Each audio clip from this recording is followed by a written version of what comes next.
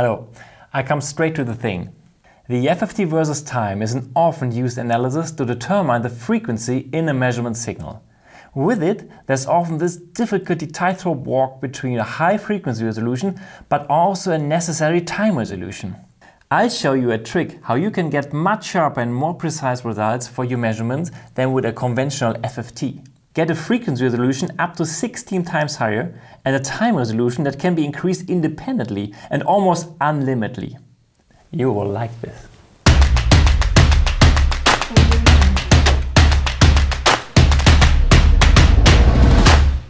During this motor run-up, for example, you will see that the selected block length is too large. Here the speed and thus also the frequency changes within a block, so that with this run-up, again and again such individual points arise. I cannot analyze a clean level history over RPM. I must use a shorter block size. With this setting I have now, I get a continuous level which I can evaluate, but the frequency resolution still leaves a lot to be desired. So I can hardly separate the sixth order from the fifth or the five and a half. They blur into each other, but also the second order causes problems. It's not in sharp focus. The energy is distributed here in a range from 1.8 to 2.2 orders. In order to have the order cut I want, I have to try very generously to sum up all the energies again.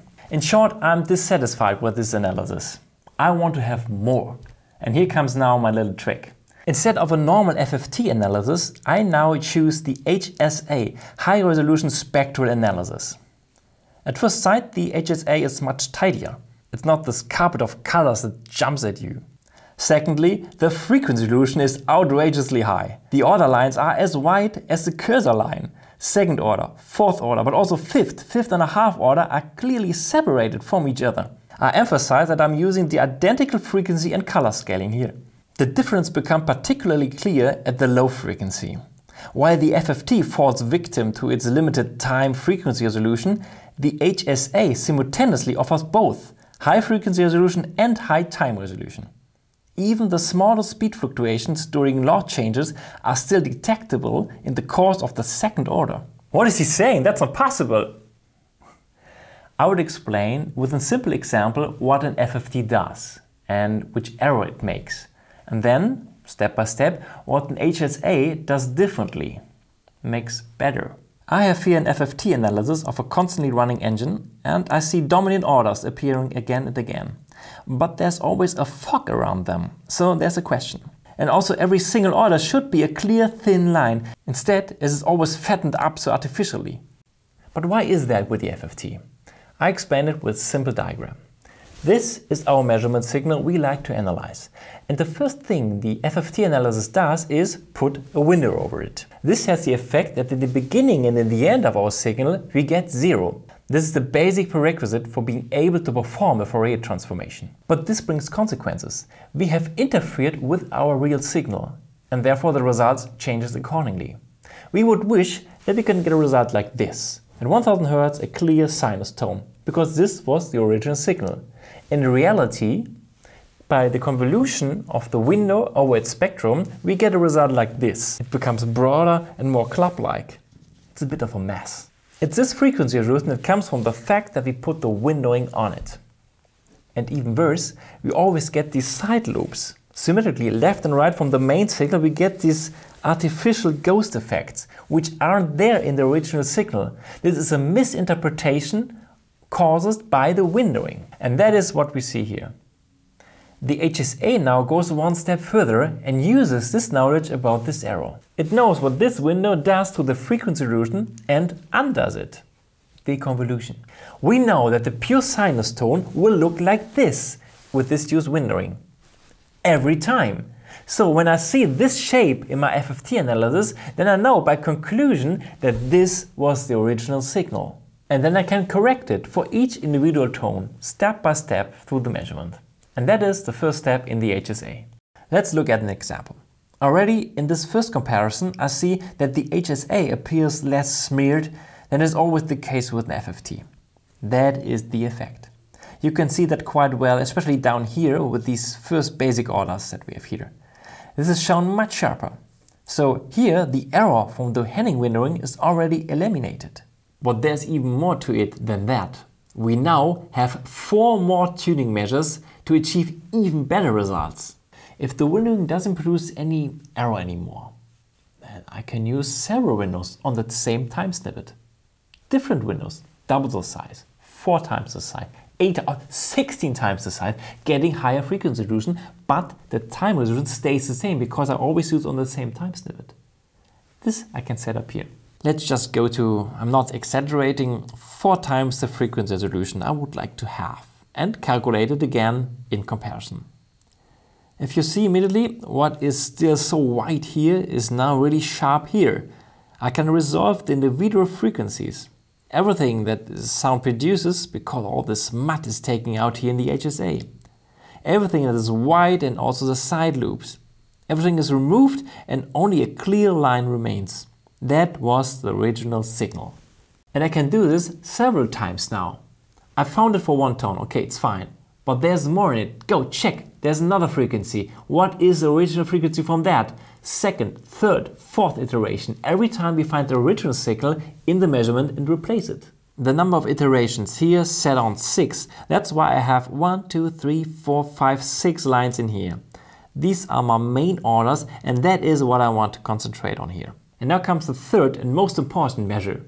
I can suppress the background noise everything I'm not interested in anyway, you shouldn't show me at all. And that is the very big step, where you don't see all the trash anymore. But I see clearly here is one tone, and here you can see very well here are two tones. In the FFT that is mixed up. I could not have separated them. Here you can clearly see from the enormously increased frequency resolution that we have two tones here that are very close together. Yes, but, but this results in completely different values. No, they do not.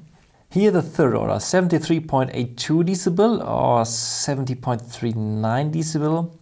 Let's get blurred quickly to a wide frequency resolution. The real value cannot be determined at all because then I would have to edit and or sum it up. Different with the HSA. If I go here with the same cursor, I get a value of 75.52, exactly at this point. Directly next to it, minus 266 decibel is zero. And above it, it is zero. Which means that I have exactly 75.09 decibel on the order with the order width of an hundredth of an order. This is a very similar value. It's not the same because it is more correct.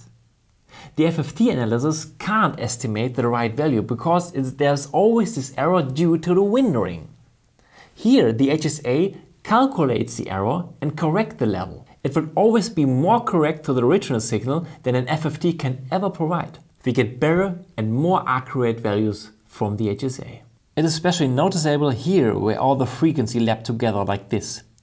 If I let the cursor move over it, I can't separate which level 78.6 come from which order. This is all smeared into each other. The two main lobes lie on inside the other. The exact value is 00076.15 decibel, 00079.31 decibel. This is the sixth order. Hold on. I can increase the frequency resolution in my FFT by making the window wide longer. Yes, that's correct, but this is only possible if the signal has the whole time the constant level and the constant tone, RPM speed. On a run-up, we have a massive problem as I showed you at the beginning we come to the fourth tuning measures in the HSA, the overlap. Because it doesn't make any mistakes with my windowing, I can nest as many windows as I want. Not just this 50% heading stuff, no, just 95%. It doesn't hurt. Costs a little bit more computing time, not enough for a coffee, but it gives you even much better time resolution. Look, if I do that with an FFT, as happens here, also 90% applied here, then I always get a clustering tuck, tuck, tuck, tuck, tuck. That's not what I'm hearing. But it doesn't get the frequency, has a worse frequency resolution, that is all the time, and put this on top of each other, mud. But where are the limits of the HSA? I've taken the most difficult measurement example I can imagine. A bird in the mating season. I just play it back an unbelievable fast sequence of varying tones a machine could never produce. Let's see what the HSA can resolve here. Give it a try. Now we have to give it our all. So I take FFT versus time and the HSA versus time. we have to tune it up first. That means the window size, that's as fast. I have to reduce the block size, 256, which of course completely destroys the frequency resolution.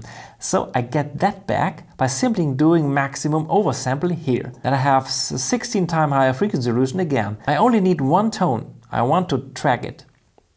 Background noise, no we don't need it. And now overlap, yeah, what's possible? 99%. Ah. We actually see a sound here that varies very quickly at different jump heights. But is that real? Or maybe there are some artifacts that a strange analysis just to get out of it? And I should believe that? We check this now by listening to it at the same time. So I play back the sound. It's so fast, I can't even hear what I'm looking at, so fast.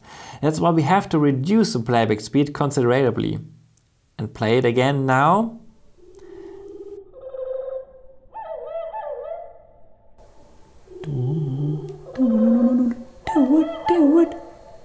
This is exactly what the bird does. I can analyze every single sound modulation that I can even hear only in slow motion in the HSA precisely, level accurate, time accurate. There are no limits. And that is why I like the HSA.